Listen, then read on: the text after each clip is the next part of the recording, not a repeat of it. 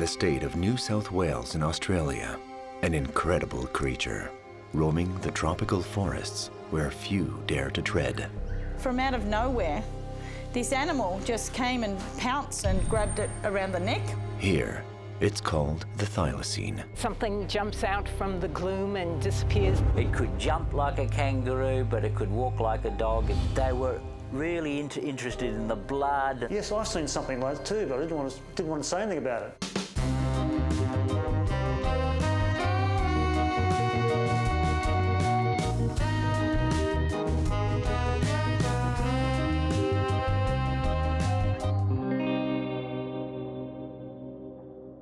Byron Bay, Australia, a paradise for surfers and nature lovers.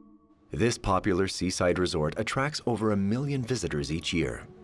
These tourists don't suspect that just a few meters from the beaches, a mysterious beast, a cross between a tiger, a dog, and a kangaroo, freely roams the rainforest. Residents believe that this is a thylacine, also known as the Tasmanian tiger, a creature thought to have disappeared from the Australian mainland over 4,000 years ago. Wendy Bethel organizes nocturnal guided tours in the jungles of Byron Bay. One night, she had the surprise of a lifetime. I take people out into the rainforest with the night vision goggles. Um, and uh, we go looking for animals. So we see lots of normal Australian little animals. Uh, we were looking at the at the pademelons. There was maybe about six of them just grazing on this clearing, and then uh, from out of nowhere, this animal just came and pounced on one of the pademelons and grabbed it around the neck, and and I just I just took me by surprise. So it was that stealthy, whatever it was, that even the pademelons who hear one twig break and they're out of there, it it didn't hear it.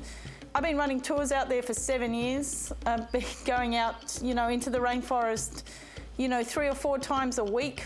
And that's the only time I've seen something that I couldn't explain. And I identify animals all the time. And so I'm used to looking at something and, and, and working out what it is I'm seeing, like you're listening, you're looking, and you're identifying attributes of the animal. I was going through that process and, I, and it, it didn't work. I was sitting there going, what was it? And then screamed, you know, let it go. And then it just ran off. I was thinking how cool it was that I'd saved the little pademelon from being eaten by something. Um, but then I started thinking about it, you know, what was it that I saw? And, the, and I still don't have an answer. Gary is, a, is a, one of the great people in this area knowing wildlife and um, and so I was talking to him about it. He suggested what I seen might have been a thylacine. Of the 317 animals that I'd received information on during the 17 years of my radio program. I'd also received reports on animals unknown to science. The cryptozoologist Gary Opit hosts a popular show on animal life on Australian Public Radio. He firmly believes in the existence of the thylacine. I also receive phone calls from farmers and uh, forestry workers national park rangers and uh, just local people who have seen animals that uh, are believed to be extinct. One of the most remarkable animals of all is the thylacine, also known as the Tasmanian tiger. Bruce Pringle is a sculptor whose work is inspired by the thylacine. For him, Byron Bay is more than the home of the mysterious creature. It's a paradise a place to be truly free. It's very precarious, little Byron Bay. It's, it's this beautiful, sensitive, fragile beach and a little town. A lot of the people here are traveling through. Everybody's on holiday.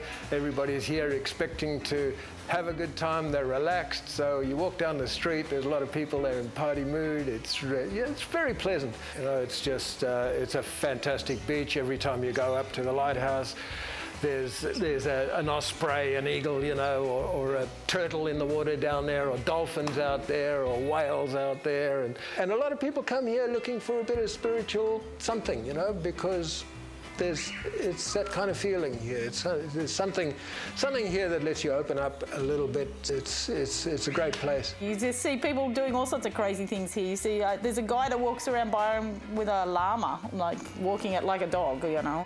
It is an interesting place. The actual town of Byron Bay itself really only has 5,000 residents who live here, but we have 1.5 million tourists a year.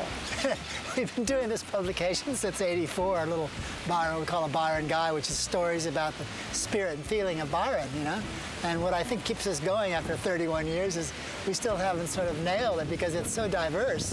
And we say, oh, well, it's a place for retirees, it's uh, a place no. for young people. Is it surfers? I mean, people come from all over the world to surf here, which was sort of the, the, the first thing that happened here was the surfers.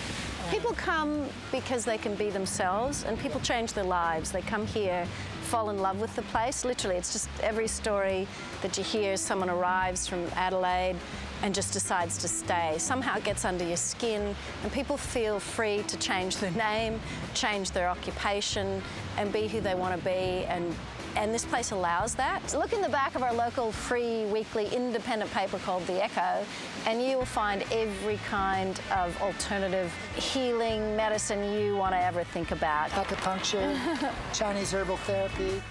But local newspapers aren't only interested in alternative lifestyles.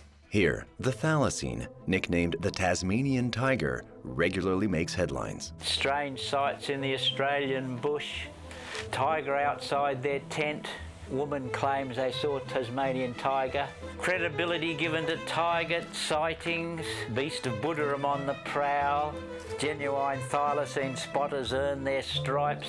Panther or thylacine prowler gets around. Our uh, bulletin magazine uh, at one time uh, offered 1.25 million dollars for evidence of thylacine surviving to the present. And if we do find evidence that it exists, it'll, it'll certainly make worldwide news.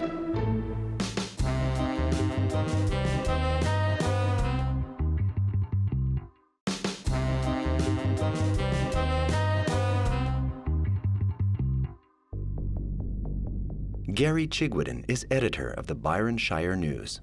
A skeptic at heart, he has nevertheless covered several stories related to the thylacine. Well, some years ago, um, I was listening to local ABC radio, and uh, Gary Opit is a wildlife man who had a regular spot at that time on the radio.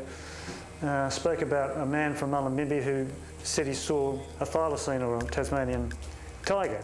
And, my, and being the editor of the paper, my ears pricked up and said, oh, this could be a, this could be a good story. It was three o'clock in the morning when Mick and Fabi saw an animal coming towards them along the side of the road as they were driving north. It was not a dingo or a dog of any kind. Its ears were well rounded and it was a lime gold colour. The tail was amazing, it was so long. As the car slowed down, Mick, who was sitting in the passenger seat, said he was less than two metres from the animal before it disappeared into the bush. And since that sighting, he said, he had spoken to at least 10 other local people who had made similar sightings stretching back a number of years. He, he was pretty sure he saw something that wasn't, that wasn't a, um, that wasn't a regular, it wasn't a dog or a regular thing that he'd seen, uh, and he was very convinced uh, after doing some research that it, it was a, uh, Tasmanian tiger, a thylacine. They weren't spinning me a yarn, they weren't just inventing a story. They, they were convinced they saw something uh, something a little bit different. So I, I spoke to Gary Opit, and, who told me afterwards that there'd been a fair number of sightings in that area uh, of a particular animal that looked like a thylacine. Um, and of course, when I ran the story in the Byron News, uh, it prompted other people to call me or contact me to say, oh, well, yes, I've seen something like that too, but I didn't want to, didn't want to say anything about it. That is what a Tasmanian tiger or thylacine looks like. How could a creature thought to be extinct for thousands of years resurface on the Australian continent? The only surviving thylacines were found on the island of Tasmania, south of Australia. They were known as aggressive predators before the islanders hunted them to extinction. The species was officially declared extinct in 1936. The Tasmanian tiger uh, is a marsupial and it looks very much like a dog and so it's been known as the marsupial dog or the marsupial wolf uh, and it's often referred to as the tiger because it has stripes on its back. The last thylacine images date to the early 1930s. But then, what have all those witnesses actually seen? Biologist Mary Gardner is interested in endangered species. She admits to having been shaken by some of the sighting reports. I, I walk through the area all the time, and one of the most exciting things is actually spotting the wide variety of different wildlife, and there's lots of it. And you get to expect certain things. And you can also be surprised, in spite of your training, to see things that um, you wouldn't think are possible. It's a typical kind of story. It was uh, twilight, it was dusk. Every good story starts that way. Going along between the edge of the pavement and the uh, forest, something jumps out from the gloom and disappears again. The creature was caught in the headlights, and I thought, oh, that's very strange. And it didn't do anything that I thought it would, and it disappeared. And it was later that I went through ticking the boxes trying to figure out what it was. And I thought, oh, that doesn't make sense. So that's, that's the mystery. Because what I ended up thinking I saw was um, a thylacine. What else has those kind of ears, that kind of bony rump and the tail stripes and that very rigid, strange tail. I rang up my friend Gary Opit and I said, You've been here a long time, you've seen lots of things, what do you think? And he said, Well, we just have to put this in my catalog of anecdotes. And there are, he's got quite a catalog of anecdotes. Majority of people living in cities, they don't really know what a Tasmanian tiger or a thylacine is. When they phone me up, they they don't say, oh, I've seen a thylacine or I've seen a Tasmanian tiger.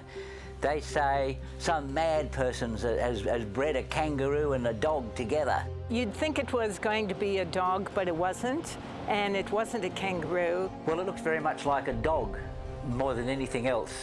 It, it had a tail like a kangaroo, it could jump like a kangaroo, but it could walk like a dog. This here is a photograph that was sent to me by one of the, my listeners, and it shows you the uh, red-necked wallaby that had been eaten on the grass outside his window under the clothesline.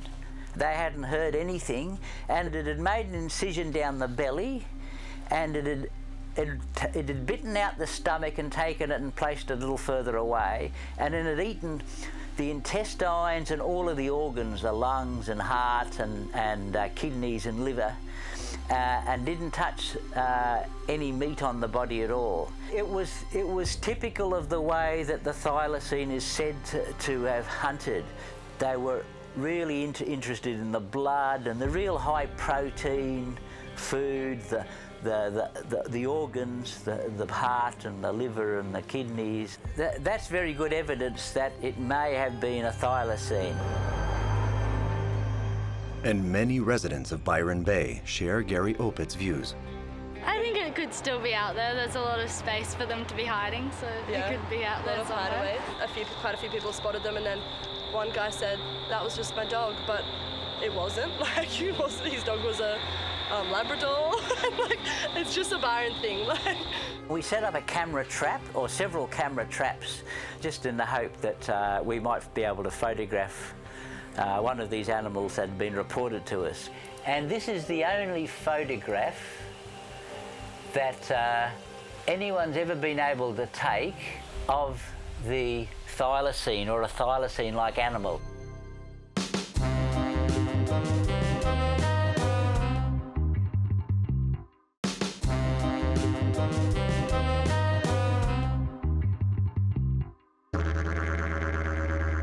Open-mindedness is a key feature of the residents of Byron Bay, according to Bruce Pringle. Australians have nicknamed this area of New South Wales the Rainbow Region because of the many hippies who have taken up residence there. No wonder they believe in this mysterious creature. People are here because they want to be here. You know, there's not a lot of jobs here or, or anything, so you, if, you, if you want to live here, you've got to try really hard, you know. You, it's, it's, you there's problems, you know, you've got to find employment and stuff like that. So the people that are here have worked something out, you know, and they're independent-minded people.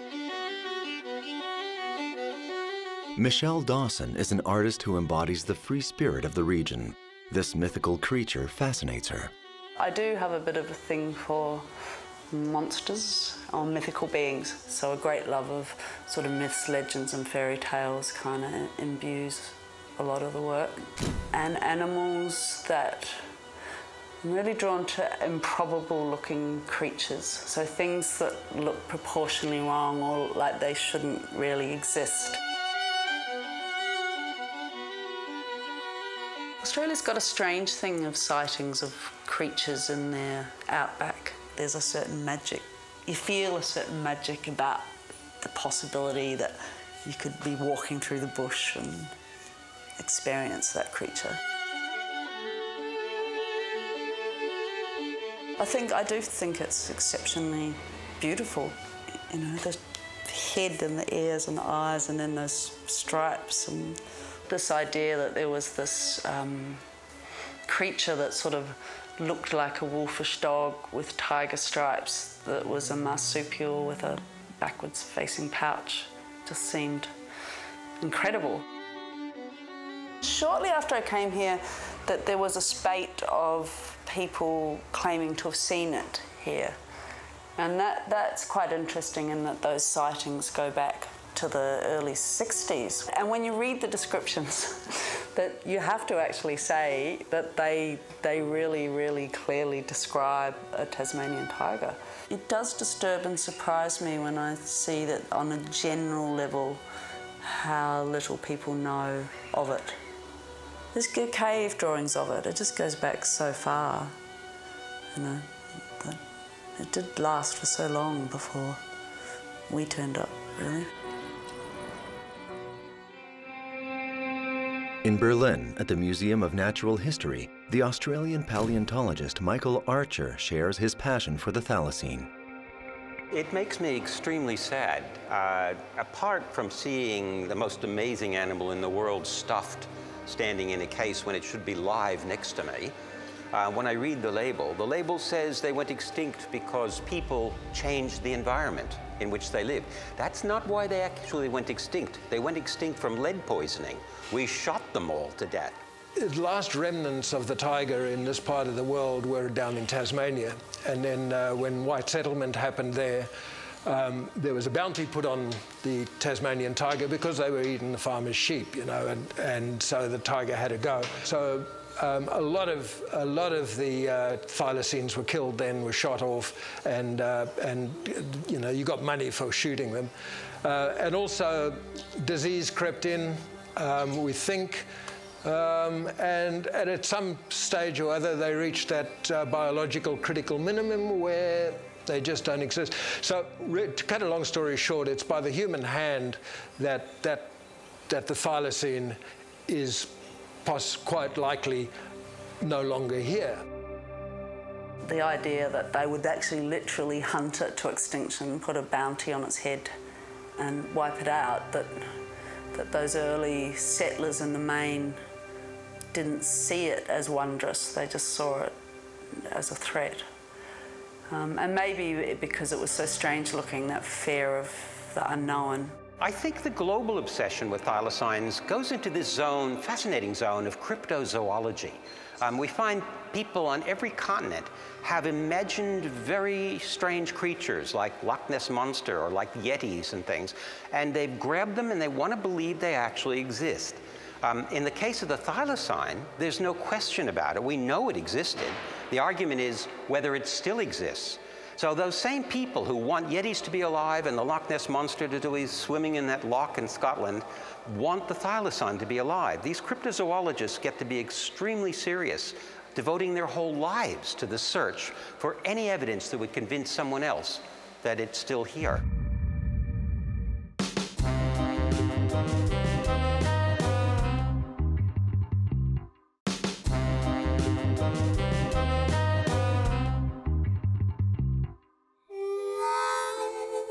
Despite the scientific consensus that the thylacine is extinct, the cryptozoologist Gary Opit hopes to someday prove beyond a doubt its existence. So these two footprints uh, were made by Percy Trezise in 1984 and given to me. Uh, I've had them looked at by other thylacine researchers and they thought they did indeed look like thylacine uh, plaster cast footprints, but the problem with thylacines is they look very much like a dog and the footprints um, resemble dogs as well. So once again, even having plaster casts of the prints doesn't really prove anything. And Gary Opit continues his research at all costs. In the company of Wendy Bethel, he takes us into the tropical forests of Byron Bay. Today, I'm going to guide us into a piece of rainforest that I've never taken into taken anyone into before, and uh, it's particularly interesting because I've received several accounts of thylacines from that locality from several different witnesses. Here around Byron Bay, out in the hinterlands, there's some forests around here and some gullies and some bush and some rainforest around here. There's incredibly dense wild country. Nobody goes. There's no cows. There's no sheep there. There's no dogs. There's nothing. You know, people don't go there really. A few occasional, occasional hippie will go wandering down through there. You know? And if one of those guys or woman says to me, "I saw a thylacine," I'm going to say, "Yeah, cool." You know, don't tell anybody else. Gary Opit's approach, meanwhile, is serious.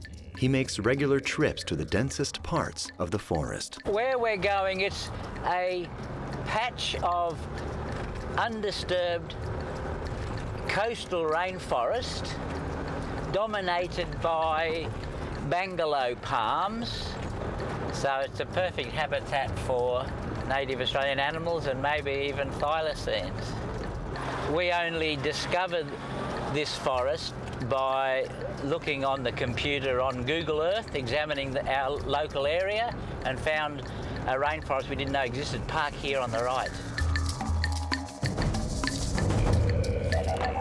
So we always need our backpack in which I've got a pair of binoculars and a camera, a bit of water and a bit of insect repellent just in case uh, there are too many mosquitoes. And uh, all we have to do now is cross the road and head into the rainforest. This is the locality where there have been reports of thylacine-like animals, so perhaps there's one of those lurking just ahead. Oh, there's a real track in here. Directly to the west of us, a local farmer on two occasions driving his tractor very early in the morning uh, en encountered an animal very dog-like with very distinct stripes on its back. Uh, and he was very sure that he was looking at a thylacine. And if it was in that open grassland just over there, then this would be part of its hunting territory. And it could move for scores of kilometres uh, along the coastland and inland on these wildlife corridors. So now we've come to the wonderful Bangalow rainforest. This is the kind of country that they would very likely uh, forage through looking for small animals, rats, mice, bandicoots.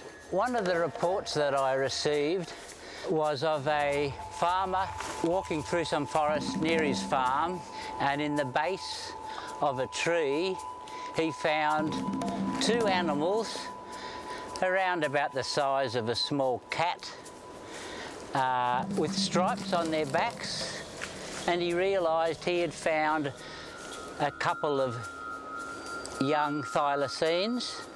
He had a good look at them and then off he went. If he'd picked those animals up, he would have made one of the greatest zoological discoveries on Earth. The thylacine now would be a known surviving animal and uh, there'd probably be an intensive breeding program with them. So is it possible, is it, is it possible that there's something out here or that there's still thylacines in, a, in the world or around here? It's, I, I, it's certainly possible, but is it probable? Anyway, we'll continue on. There's nothing like going off the beaten track with you. Oh, it's, it's wonderful.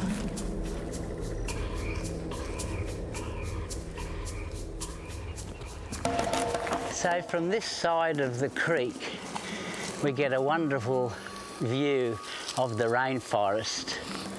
This would be perfect habitat for it uh, because it could hunt along these uh, grassy areas beside the creek and then it can cross back into the forest on these fallen trees.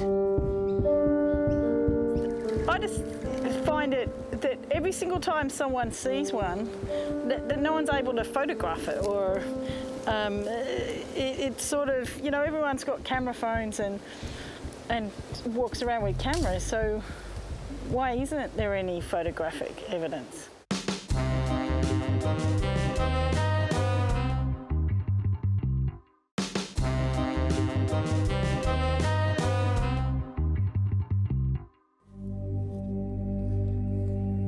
In the rainforest of Byron Bay, Gary Opit and Wendy Bethel continue their research in the hope of one day seeing a thylacine. Now Wendy's deep in the forest, she doesn't know when, where she, we are, and so the Aboriginal people uh, had a particular call they used to use to um, find one another, and Australians have used it ever since, and it goes like this.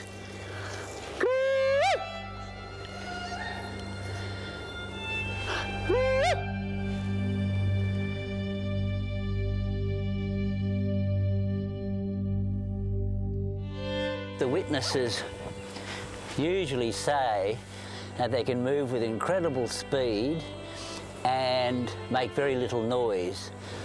You can hear how much noise Wendy's making as she moves through the forest. And Wendy's used to walking through the bush. And that's one of the, the problems finding animals walking through a forest is that the animals can generally hear you coming isn't that a magnificent strangling fig tree? The largest tree in the forest.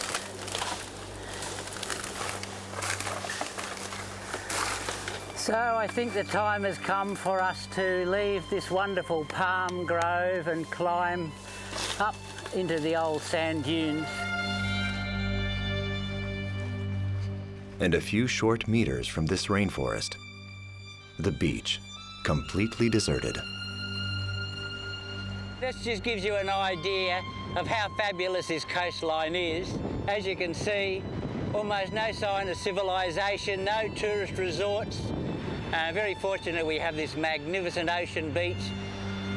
According to Opit, human activity is so limited in this corner of Australia that it would not be surprising if a thylacine were hiding in the region. But today is not the day for him to make this incredible discovery. So now comes the most dangerous part crossing the road without getting run over. So this is a, a lace monitor or tree goanna. It's obviously the victim of a car strike. We didn't spot any thylacines or anything else, but it's very difficult to come across animals when you're walking through the bush like that. Hopefully, one day we'll find a thylacine. I hope you, I hope we do. Yeah. According to paleontologist Mike Archer, Gary Opit will never realize his dream of capturing the creature. Where's the hard evidence that it's still out there? Where is the squashed carcass on the road? Since 1930, with all of the vehicles in Tasmania killing everything else on a daily basis, why not one thylacine carcass? People say they see them everywhere. They see them on the mainland of Australia. I've, I've had people tell me they see them in Texas and even in South America but it's all based on sightings. And sightings are not testable evidence. It's not the same as a bone or a hair or even a, a piece of poo. What you can do is examine the structure of the sighting. And when you do that, it turns out that the way people see thylacines, the time of day, the number of people who see it, the length of time of the duration of the sighting, it's the same kind of data that we have for flying saucer reports. So it makes people extremely skeptical that sightings are a credible basis for claiming they still exist. And apart from the sightings, there is zero evidence, zero hard evidence that a thylacine survived in Tasmania after 1936 or on the mainland after 4,000 years ago. They're gone. I, I, am very skeptical that they were so awesomely bright that they have made a collective decision since 1936 to never allow anybody to see them. They're just not there anymore. We have to get over it.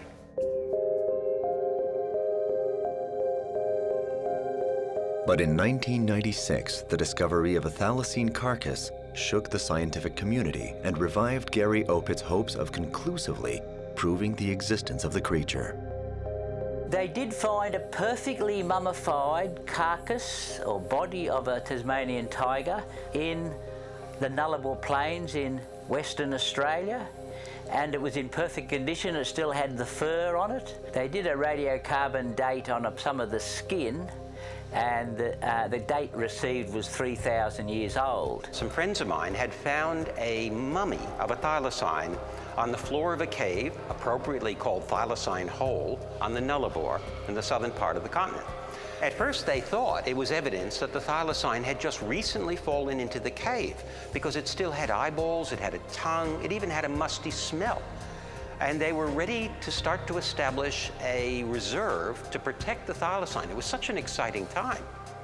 And then one paleontologist, Duncan Merrilees, said, hang on, before we jump to this conclusion, we should probably radiocarbon date the tissues, the dried skin. Um, and they did, and it turned out to be over 4,000 years old.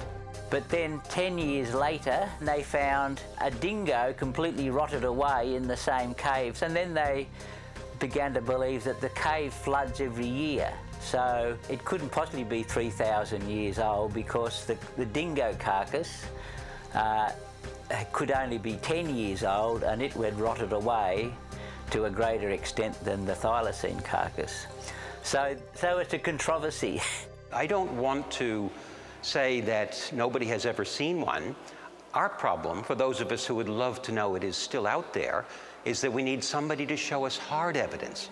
There are well-known mental phenomena that basically involve people seeing things that they, they love or they severely miss. Somebody whose, whose loved one has died, something like 10% of people will see that person on the street within a month. And if you really want to see something badly enough, your brain is designed to fill in the gaps. If you see an animal in the bush that's dog-like, your brain may add the stripes if you really want to see a thylacine. It's a very flexible organ. It's part of the reason why, frankly, seeing is not necessarily believing. Now, most people, uh, as we know, believe in shooting the messenger. If you don't like the news, then you blame the person that's delivered it. So if someone says that they've seen something that you don't believe could be possible, then you'll refuse to believe it and, and accuse the person of, of fabricating the, uh, the, uh, the report. If you receive enough of these reports, you know that there's, there's evidence coming in because the signal is continuing. You, you continually receive similar descriptions from people who have never met each other, who are not interested in, in, in the animal, but they are interested in identification of something that is peculiar, a, a creature that they uh, didn't know exist. I would like to find evidence one way or the other as to whether they exist or not. But uh, I, I, cannot come up with a conclusive statement that it definitely exists or that it doesn't exist. All I can say is the anecdotal evidence shows that it exists because people continue to describe uh, really detailed observations of the animal.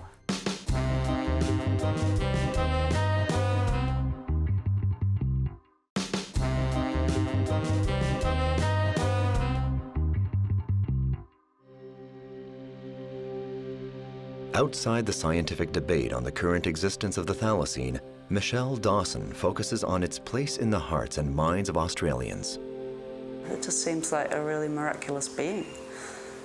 Marsupial, tiger striped, dog headed, backwards facing pouch creature. You know, they were supposedly wiped out because they thought they were killing the sheep, but later research and science would show that they're an incredibly shy creature that lived mainly way up in the highlands and very rarely ventured down and lived off small rodents and things. So that this shy, strange, beautiful creature got sort of willfully wiped out seems uh, just ineffably sad, really. And an idea that it might have survived would be beautiful. I think a lot of Australians would like to think that it was still there.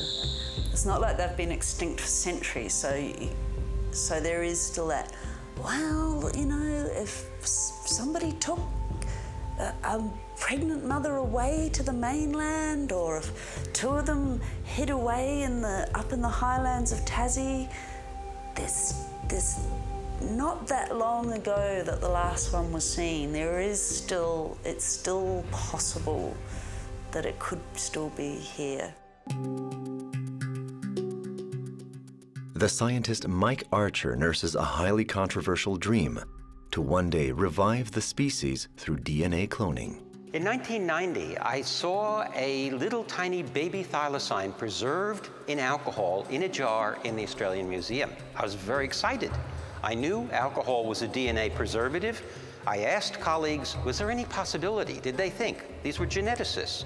Could we try to get DNA out of that pickled pup and use it somewhere in the future to bring the thylacine back? They laughed. So when I became director in 1999, I thought, why don't we just give it a go? Nobody else thinks it's possible. Let's start. If we don't start, it will never happen. So I put a team together, and they went into this pickled pup, and they found DNA. We tested the DNA. It was unmistakably thylacine DNA. So we were convinced that we had recovered the whole genome of a thylacine from this specimen. And they checked the teeth and bones of specimens that were already in the museum collection, and they produced better quality DNA. We had, as far as we could see, everything you could need to try to put a thylacine back on the Earth again. So I guess at this point, if I ask the same geneticists now, do they still think it's ridiculous? Well, many of them have changed their mind. And in fact, many of them have joined teams all around the world to see if it's possible to bring extinct animals back. Projects are happening everywhere. The, the mammoth, the passenger pigeon, dodos. The thylacine is one of those projects. And at that point, we have a new tool for increasing the biodiversity on the planet by hopefully bringing back some of the most important iconic animals that in particular we, humans, have driven inappropriately into the night of extinction. For Bruce Pringle, the thylacine is strictly an artistic influence, but its extinction has also influenced his work. I did this little sculpture. Um, it's uh, it's the from the from the Bible, from the New Testament. There's these three crosses where the Christ was crucified, and there were two thieves that were crucified along with him. And uh, I did this little picture of these three crosses. This little steel thing is pretty rough, with a bunch of thylacines just down at the foot of the crosses. And, and my idea was that, uh, you know, those two thieves were forgiven their sins, but the thylacines had no forgiveness. They weren't, there, there was no uh, redemption for them. In fact, it even says in the Bible, if we're going to get hung up about God's word, that the last enemy that shall be destroyed is death. God's message to the people who were writing the Bible was, you humans created death, it's your job to undo it. So as far as I'm concerned, we have the holy sanction to try to do this work. If science could, could come up with that and clone a Tasmanian tiger, and obviously do another one so they could reproduce, it would be an absolute brilliant thing to happen to Australia. Who knows? Maybe they will one day. Maybe there'll be Tasmanian tigers running everywhere. It would be really brilliant, but the thing is what, you know, so it'd be lovely to be able to release them down in the west of Tasmania again, if, if they're not there already. Uh, it'd be a bit of a problem if they are there already, and it's like, hey, you know, what are you doing here? No, I'm a test tube, I'm better than you? I got better stripes. There are those people who say this is not about cloning, it's what they, I think, cleverly call clowning. You know, that we're wasting our time because they argue this still out there. We were playing God when we exterminated those species. I'd like to say we should be playing smart human to try to bring it back. Why not? Why not? You know, if we can do this, let, us do it. I don't think it can hurt. I think if there was ever a community that would really, really want to have a thylacine, it's probably us.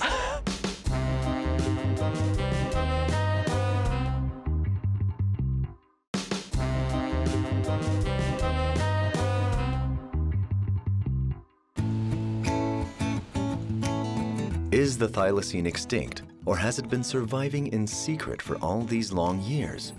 The question divides residents of Byron Bay. You know, there have been sightings over the years, sporadically, but, you know, there are things out there. Yeah. I'm not quite sure what they are, but they're, they're out there. Yeah. Is there a thylacine around still?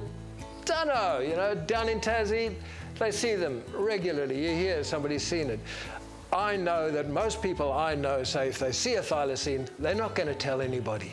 I don't know. I haven't seen it. I haven't seen it either. They will never tell them where they saw it. They will keep very quiet about it. But um, I've seen some strange-looking creatures around my property inland but uh, I've never been able you to hear identify. things on your roof at night. Yeah, hear things on your roof, and there's some. Could be possums. It could be anything. Yeah. There's koalas there too. Strange not, spirits lurking. I think I think that the common belief would only pertain to those people who might have seen something. But uh, I think everyone else might say, "I think you partied a bit too hard last night." What were you drinking? What were you smoking? You know. We know what they look like because there's little bits of film still about of them because they're not that long gone. So maybe they're here. I don't hope so. The artist Michelle Dawson admits to being torn by the question.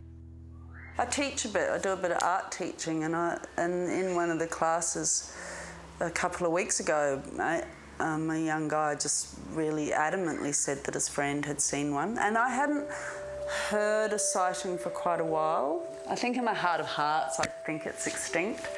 But then when I read those accounts where people just talk about the shorter front legs and the stiff tail and the stripes and the strange gait, and that's such clear descriptions that you almost have to go, well, it's they're almost hard to discount. People in Asia are convinced there are Yetis, and people in Scotland are convinced there are Loch Ness monsters, and in North America there is Bigfoot. You can never prove that something doesn't exist. The only thing you can do is prove that it does exist. And if you haven't been able to do that, then you're in the zone of cryptozoology. And I hate to say it, that seems to be where the thylacine believers are actually operating. They believe it exists, and that belief trumps the lack of evidence. But for scientists, we need the evidence, and that unfortunately trumps the belief. We have to accept that the only credible evidence we have argues thylacines were gone by 4,000 years ago on mainland Australia, and then only survived in Tasmania until we came along. Yeah, we, we've made bad mistakes. We're a little bit more careful now. It's good. It's good. We're learning. You know, there's hope for us because we are smart. You know, we're really clever. We're really clever. We're bright. You know is, is a, it's a sexy image, the thylacine, in, in, a, in our minds, you know, because it's a wolf, it's a tiger, it's got stripes, it's a carnivore, and it's, it's really, and, it, and it's iconic, it's a beautiful, beautiful animal. But, uh, you know, if it was a small little uh, desert marsupial rat that had gone extinct, who cares, you know? It's kind of, we, we live life so fast. They, they just go, and millions, hundreds, hundreds, thousands of things are going extinct every year on this planet. But, and we don't notice them because, hey, he's a little insect, you know, what does that matter? Little, uh, you know, it might cure all our cancers one day, you know, but hey, gone. We have to learn that what we do with this hand has consequences. Everything we do becomes solid and becomes real. And we have to be careful.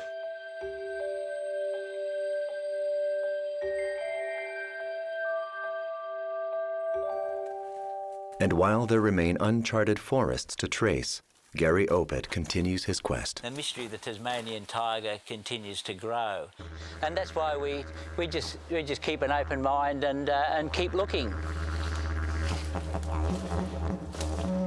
I love the people here. They embrace nature. They embrace tolerance. You know, beautiful, um, sharing people. Still have this reputation that we're like dope smoking hippies. it's a crazy place, but uh, it's our crazy place. We love it.